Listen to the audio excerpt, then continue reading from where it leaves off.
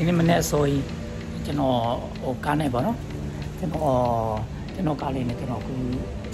ဟိုဘက်မှာလေ CU ဆိုတာစူပါရှိတယ်အဲ့မှာကျွန်တော်မနေ့အစောကြီးဟိုဖျားအတီးတင်မှုအတီးမရှိလို့လေဟိုခဏလေးကျွန်တော်အတီးသွားဝင်မယ်အဲ့အတီးသွားဝင်တဲ့အခါမှာဘလို့ကိုယ့်အကိုငွေရှင်းတဲ့စနစ်လေးရှိတယ်ပေါ့နော်အဲ့ငွေရှင်းတဲ့စနစ်လေးကို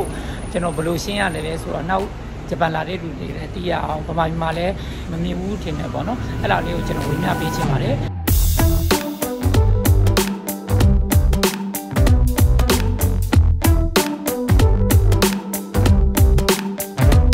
ဟိုင်အားလုံးပဲမင်္ဂလာပါ good morning ပါ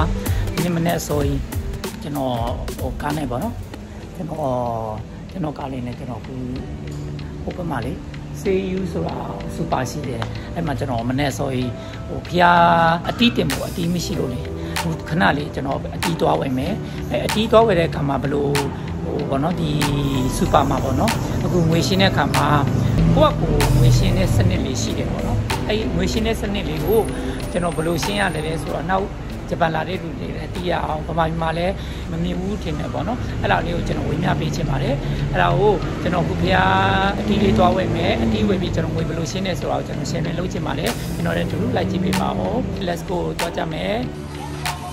လာပါဒီနေ့ကတော့ကျွန်တော်တို့ဒီအိမ်နားမှာရှိတဲ့ Say You ဆိုရယ် supermarket မှာ ဈေးဝယ်တာဈေးဝယ်ပြီးလို့ရှိရင်ဘယ်လိုကိုယ့်ဘက်ကိုပတ်စံရှင်းရလဲဆိုတာကိုကျွန်တော်ရှင်းမလုပ်ချင်ပါတယ်အဲ့ဒါလေးကိုပြောပြမှာမလို့ဒီနေ့ကဝယ်ထားတာတစ်တော်ဒီနှလုံးဖះဖះမှာကပ်ဖို့နေတစ်တော်ဒီနှလုံးလာဝယ်တယ်အဲ့ဒါကိုဘယ်လိုရှင်းမလဲဆိုတဲ့အခါကျတော့ကျွန်တော်ပြောမှာအဲ့မှာတော့သူတို့လည်းရေးရေးပေးထားပါတယ်အင်္ဂလိပ်လိုရောသေယုတ်လိုရောဂျပန်ကျွန်တော်တို့အများကြီးဂျပန်လိုနဲ့ပဲသွားနေကြတော့ဒီဥစ္စာကို အဲဥပမာကျွန်တော်တို့မှာသူတို့ရေးထား Lactin point ဆိုဆိုတာ Lactin မှာသူတို့ point point card ရှိတယ်အဲ point card ကိုကျွန်တော်တို့ဒီဒီဘယ်လိုပြောမလဲအဲရှိလို့ရှိရင်အဲ့အဲ့အဲ့ point card ကိုဒီမှာဘာကုတ်မှာပြလိုက်လို့ရှိရင်ဒီ point ကဝင်သွားလိမ့်မယ်အခုကကျွန်တော်ကဖုန်းနဲ့ရိုက်နေတာမဟုတ်လို့ကျွန်တော်ဖုန်းမှာ Lactin ရှိနေတဲ့ခါကျတော့ကျွန်တော်အခုရိုက်ပြလို့မရဘူးကျွန်တော်အခုပတ်စံဘယ်လိုရှင်းမလဲဆိုတော့ကျွန်တော်ပြောပြမယ်အခုအဲပတ်စံရှင်းမဲ့ပုံစံကတော့ အခုကျွန်တော် TikTok တီကိုယူတယ် TikTok တီမှာဒီမှာဘာကုတ်လေးရှိတယ်အဲ့ဘာကုတ်လေးတွေကိုဘာမှသွားစားမလဲဆိုတော့ဒီဒီမှာသွားတိတ်လိုက်မယ်အာပြီးတော့သူမိသွားပြီမိသွားလို့ရှိရင်ဘယ်လောက်ကြလဲ950နဲ့3ရန်ကြတယ်တဲ့နှလုံးကိုနော်953ရန်ဆိုတော့အဲဘယ်လောက်ကြလဲ1500ကျော်လာ1500နေဝင်းကျင်တော့ရှိနေမယ်အဲ့လောက်ကိုပတ်စံရှင်းမလားဆိုတော့ဒီမှာပတ်စံရှင်းတဲ့ဟာကိုကျွန်တော်နေလိုက်မယ် ဥပမာဒါမှမဟုတ်ရင်ကျွန်တော်တို့အဲဒီမှာတစ်ခေါက်ပြန်ပြီးတော့ကျွန်တော်ပြန်သွားပြမယ်ပြန်သွားလို့ရှိရင်အဲ့မှာပေါ့ကျွန်တော်တို့ဝယ်မဲ့ပစ္စည်းတွေကဘာလေးလဲဆိုတာရှိတယ်အခုကကျွန်တော်အတီးတို့ဘာညာကွေးကွာဆိုလို့ရှိရင်ဒီမှာရာ size ဆိုတာဟင်းဒီဟင်းရွက်တွေပေါ့နော်ရာ size ဟင်းဒီဟင်းရွက်ဟင်းဒီဟင်းရွက်မှာမှာအစိမ်းရောင်ဟင်းဒီဟင်းရွက်လို့ဒီလိုမျိုးပေါ့အဲအဲမုံလာဥအဖြူရအောင်လို့အဲ့လိုမျိုးပေါ့ အမျိုးမျိုးပေါ့အဲဖန်းဆိုလို့ရှိရင်ဖန်းဆိုတာအဲ့ဒီ bread ပေါ့နော်အဲ့လိုမျိုးကလေအဲ့တော့9ဆို9ပေါ့ fly ဆို fly ပေါ့အမျိုးမျိုးတော့ရှိတယ်အဲ့ဒီဘာကုတ်ကိုကျွန်တော်တို့အိမ်မှာပြရုံဆိုရပြီအခုကျွန်တော်တို့ဟိုပတ်စံရှင်းတော့မှာမလို့ကိုကိုလည်းပတ်စံရှင်းမယ်လို့ကျွန်တော်ပြောလိုက်တယ်အဲ့ဆိုရင်ကျွန်တော်ပတ်စံထည့်ရ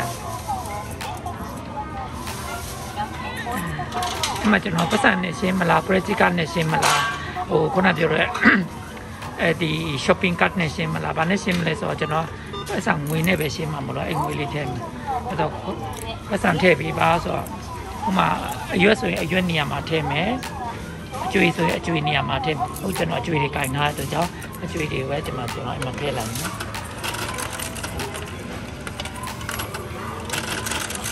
ထည့်လိုက်ပြီ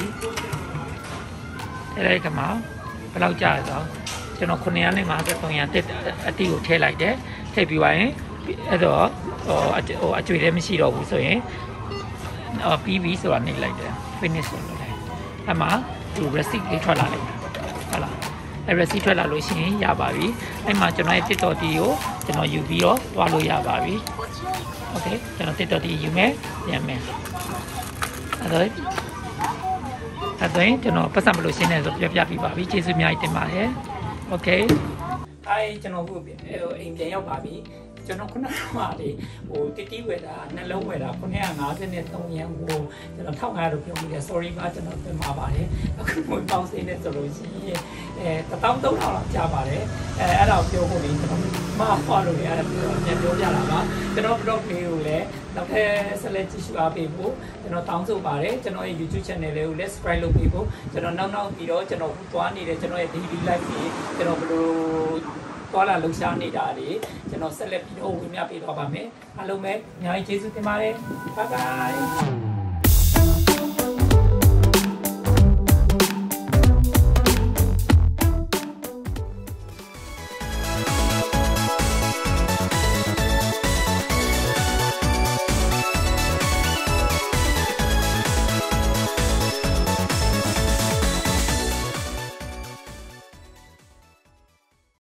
名色化粧品。